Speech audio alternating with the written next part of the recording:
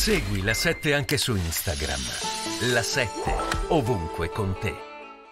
Cioè nel senso devono mettersi d'accordo con se stessi forse. Qua si sono dette tantissime cose, insomma da, da Santoro in poi ne ho, ne ho sentite parecchio, cioè ho preso appuntamenti. Per flash, andiamo per flash così. Sì, allora il problema di Santoro è speculazione con gli accordi di Minsk. Sì. Perché Santoro se vuole fare quello imparziale deve sapere che negli accordi di Minsk delle responsabilità degli obblighi non se l'ha presa solo l'Ucraina, ma se l'ha presa anche la Russia. La Russia, sì. La, quando l'Ucraina ha detto che dava la, uh, lo status di autonomia a Donbass, cambiava la Costituzione, lo status di autonomia doveva essere discusso discusso, come sì. giusto che sia, con i rappresentanti del Donetsk e Lugansk che dovevano pa parlare delle loro pretese e del tipo di autonomia che volevano sì. per la regione.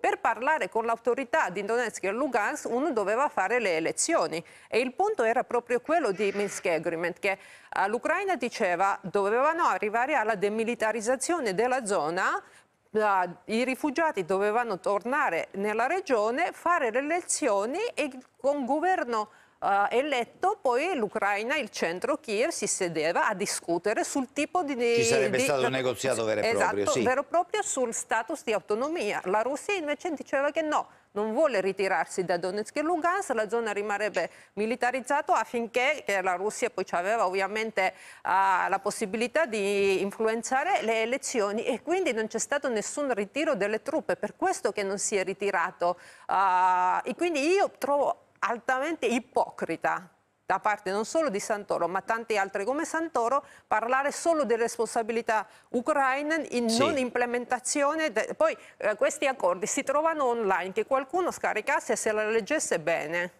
Siccome ci sono i documenti dice uno li approfondisca come vanno approfonditi. Allora dobbiamo andare eh...